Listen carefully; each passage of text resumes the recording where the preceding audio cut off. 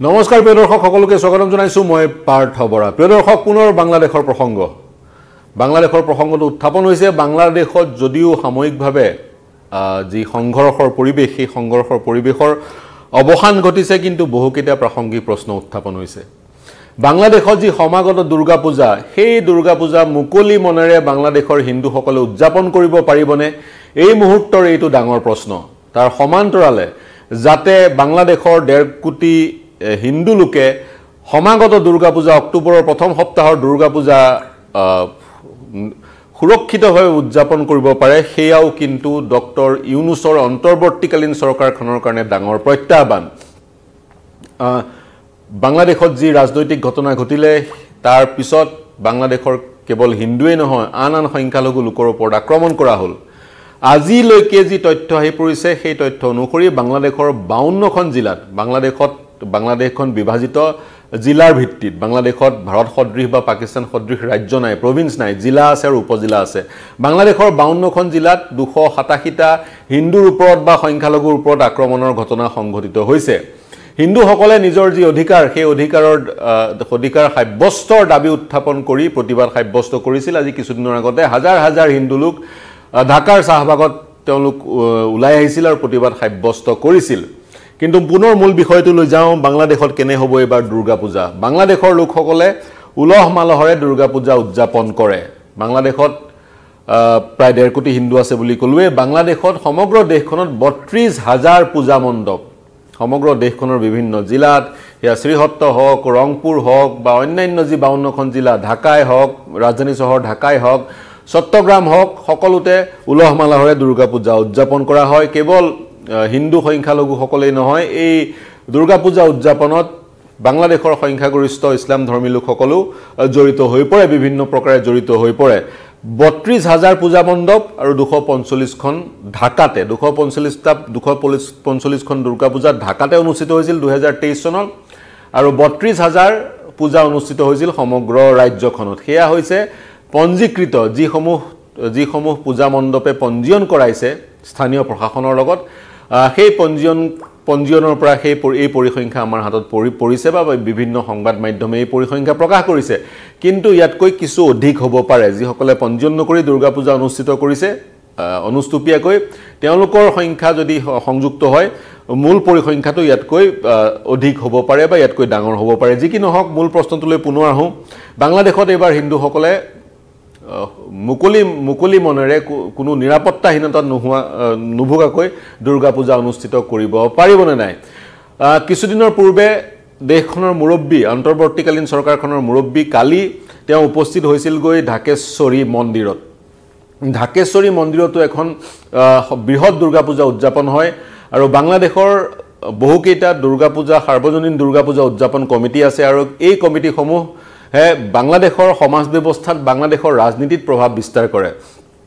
বিভিন্ন সময়ত তেওঁলোকে হিন্দুসকলৰ সুৰক্ষাৰ কাৰণে প্ৰতিবাদ সাব্যস্ত কৰে। চৰকাৰক মেমৰেণ্ডাম দিয়ে গতিকে তেওঁলোকে যিমান পাৰে চেষ্টা কৰে হিন্দুসকলৰ হিন্দুসকলৰ সুৰক্ষা নিশ্চিত কৰিবলৈ তেওঁলোকে চেষ্টা কৰে। তাৰ সমান্তৰালে এই প্ৰসংগতে ক'ব বিচাৰিছোঁ বাংলাদেশত এটা নামঘৰো আছে। বাংলাদেশতে এটা নামঘৰ আছে শংকৰদেৱৰ ভক্ত সুভাষ চন্দ্ৰ দাসৰ পৃষ্ঠপোষকতাত বাংলাদেশৰ ঢাকাত এটা নামঘৰ গঢ়ি তোলা হৈছে সুভাষ চন্দ্ৰ দাস। বাংলাদেশ বাংলাদেশৰ সুপ্ৰিম কোৰ্টৰ এজন অধিবক্তা। তেওঁ কেৱল নামঘৰেই নহয় শংকৰদেৱ ষ্টাডি চেণ্টাৰ এটাও তাত প্ৰতিষ্ঠা কৰিছে। গতিকে কেৱল দুৰ্গা পূজাই নহয় শংকৰী কলা কৃষ্টিৰো চৰ্চা বাংলাদেশত হয় নামঘৰ পৰ্যন্ত আছে। বিগত সময়ত সেই নামঘৰ সন্দৰ্ভত আমি বাতৰি পৰিৱেশন কৰিছিলোঁ। নামঘৰটো আমি পোৱা খবৰ মতে নামঘৰটোত কোনো কোনেও দুষ্কৃতিকাৰীয়ে নামঘৰটোক স্পৰ্শ কৰা নাই বা নামঘৰটো অনিষ্ট কৰিবলৈ চেষ্টা কৰা নাই বুলি এই মুহূৰ্তত গম পোৱা গৈছে। সেয়া যি কি নহওক পুনৰ মূল প্ৰসংগটোলৈ আহোঁ। ঢাকেশ্বৰী মন্দিৰত ডক্টৰ মহম্মদ ইউচুফ মহম্মদ ইউচুফ গৈছিলে। কালি তেওঁ ঢাকেশ্বৰী মন্দিৰত যিসকল হিন্দু ধৰ্মাৱলম্বী লোকসকলৰ যিসমূহ সংগঠন সেই সমূহ সংগঠনৰ নেতৃবৃন্দ একত্ৰিত হৈছিলে। তাৰে এটা অন্যতম আছিল সাৰ্বজনীন দুৰ্গা পূজা কমিটি ঢাকাৰ। ঢাকেশ্বৰী মন্দিৰটোত অ'ল্ড ঢাকাত অৱস্থিত। আৰু ইউনুছে প্ৰতিশ্ৰুতি দিছে হিন্দুসকলৰ সুৰক্ষাৰ আৰু তেওঁ আহ্বান জনাইছে সকলোকে নিজৰ পৰিচয় দিবলৈ বাংলাদেশৰ মানুহ হিচাপে। ধৰ্মীয় পৰিচয় অগ্ৰাধিকাৰ নিদি বাংলাদেশৰ মানুহ হিচাপে পৰিচয় দিবলৈ তেওঁ আহ্বান জনাইছে। তাৰ সমান্তৰাল তেওঁ কৈছে বাংলাদেশখনত সুস্থিৰ পৰিৱেশ বা বাতাবৰণ বা বাংলাদেশৰ ভৱিষ্যত উজ্জ্বল হ'ব তেতিয়াহে যেতিয়া বাংলাদেশৰ যিসমূহ প্ৰতিষ্ঠান সেই প্ৰতিষ্ঠানসমূহৰ পৰা দুৰ্নীতি অপকৰ্ম নিৰ্মূল হ'ব। বা সেই প্ৰতিষ্ঠানসমূহৰ সংস্কাৰ হ'ব। অৰ্থাৎ তেওঁ ক'ব বিচাৰিছে জুডিচিয়াৰী শিক্ষা ব্যৱস্থা বা অন্যান্য যিসমূহ প্ৰতিষ্ঠান আছে সেই প্ৰতিষ্ঠানসমূহৰ যেতিয়ালৈকে সংস্কাৰ নহয় তেতিয়ালৈকে বাংলাদেশৰ ভৱিষ্যত উজ্জ্বল নহয়। আৰু তেওঁ চেষ্টা কৰিব এই প্ৰতিষ্ঠানসমূহৰ সংস্কাৰ কৰিবলৈ। আৰু তেওঁ কৈছে যিহেতু জুডিচিয়াৰীৰ সংস্কাৰ ইতিমধ্যে হৈছে পূৰ্বৰ মুখ্য ন্যায়াধীশগৰাকীয়ে পদত্যাগ কৰিছে নতুন মুখ্য ন্যায়াধীশ আছে। জুডিচিয়াৰীয়ে যেতিয়া ন্যায় প্ৰদান কৰিব তেতিয়া যিজন ব্যক্তিক ন্যায় প্ৰদান কৰিব সেইজন ব্যক্তিৰ ধৰ্ম মুখ্য হৈ নাথাকে সেইজন ব্যক্তিৰ গৌণ হ'ব। জুডিচিয়াৰীয়ে বৰ্তমান যি নতুন জুডিচিয়াৰীৰ সূচনা হৈছে ন্যায়পালিকাৰ সূচনা হৈছে বাংলাদেশত সেই নতুন জুডিচিয়াৰীয়ে বাংলাদেশত কোনো ব্যক্তিক ন্যায় প্ৰদান কৰিলে তেওঁৰ যি ধৰ্ম সেই ধৰ্মক অগ্ৰাধিকাৰ প্ৰদান নকৰে। সকলোৱে সমানে ন্যায় পাব বাংলাদেশত সকলো সমান আৰু বাংলাদেশত এই ইকুৱেলিটি এই সমতা প্ৰতিষ্ঠা হ'ব বুলি সুনিশ্চিত কৰিছে ডক্টৰ ইউনুছে ঢাকেশ্বৰী মন্দিৰত ঢাকেশ্বৰী মন্দিৰ এটা প্ৰাচীন মন্দিৰ বাংলাদেশৰ বাৰশ শতিকাতে সেই মন্দিৰটো নিৰ্মাণ কৰা হৈছিল। সেই সময়ত সেন ডাইনেষ্টিৰ ৰজা বালাল সেনে সেই মন্দিৰটো প্ৰতিষ্ঠা কৰিছিল আৰু সেই মন্দিৰটো এটা শক্তিপীঠ। প্ৰবাদ আছে সতীৰ ৰত্ন এটুকুৰ সেই মন্দিৰ যি স্থানত আছে সেই স্থানত পৰিছিল আৰু সেই ৰত্নটুকুৰ সেই স্থানত পৰাৰ কাৰণে সেই স্থানত সেই মন্দিৰ প্ৰতিষ্ঠা হ'ল। ঊনৈছশ সাতচল্লিছ চনত ঢাকেশ্বৰী মন্দিৰত আক্ৰমণ কৰা হৈছিলে। মূলতঃ মূলতঃ যিসকল সংখ্যাগুৰু সম্প্ৰদায়ৰ লোক লোক তেওঁলোকৰ একাংশ দুষ্কৃতিকাৰীয়ে মন্দিৰটো আক্ৰমণ কৰিছিল। আৰু তেতিয়া মন্দিৰৰ যিজন মুখ্য পূজাৰী সেই পূজাৰীজনে মন্দিৰটোৰ মূল বিগ্ৰহটো সেই স্থানৰ পৰা পশ্চিমবংগলৈ আনি পশ্চিমবংগৰ কুমাৰপাৰাত প্ৰতিষ্ঠা কৰিছিলে। গতিকে কুমাৰপাৰাতো এটা ঢাকেশ্বৰী মন্দিৰ আছে আৰু বাংলাদেশতো ঢাকেশ্বৰী মন্দিৰ আছে। ঢাকেশ্বৰী মন্দিৰ কিন্তু বিভিন্ন তেনেধৰণৰ আক্ৰমণৰ সন্মুখীন হৈছিল বিভিন্ন সময়ত ঊনৈছশ সাতচল্লিছ ঊনৈছশ আঠচল্লিছ বা ঊনৈছশ এসত্তৰ চন ঊনৈছশ এসত্তৰ চনত পাকিস্তান সেনাই মন্দিৰটো অধিগ্ৰহণ কৰিছিল। মন্দিৰটোৰ মূল যি কক্ষ সেই কক্ষ পাকিস্তানী সেনাই অস্ত্ৰ ভাণ্ডাৰ হিচাপে ৰূপান্তৰ কৰিছিল। তৎসত্বেও কিন্তু বাংলাদেশ স্বাধীন হোৱাৰ পিছত সেই মন্দিৰটো অক্ষত হৈ ৰ'ল।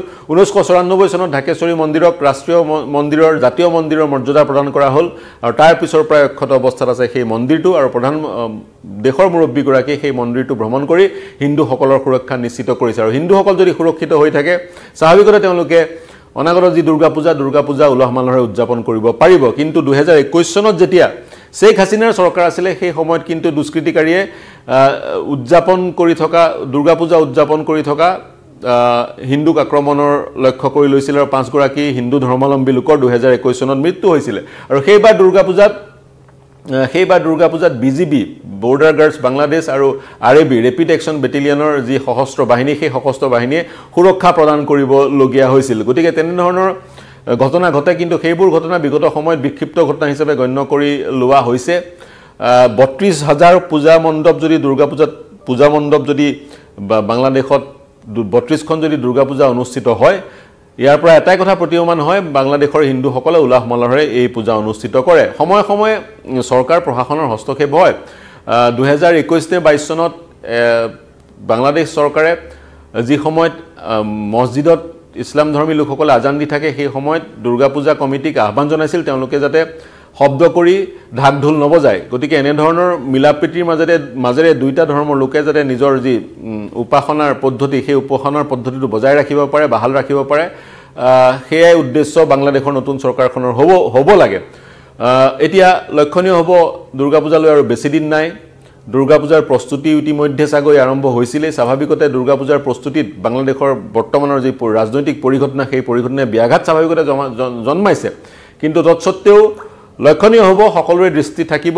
উলহ মালহেৰে হিন্দুসকলে বাংলাদেশত দুৰ্গা পূজা উদযাপন কৰিব পাৰে নে নোৱাৰে? কলিকতাৰ যি দুৰ্গা পূজা সেই দুৰ্গা পূজাই ইউনেস্ক'ৰ মৰ্যাদা লাভ কৰিছে। ইউনেস্ক'ৰ ইণ্টেঞ্জিবল হেৰিটেজ ছাইটৰ মৰ্যাদা লাভ কৰিছে।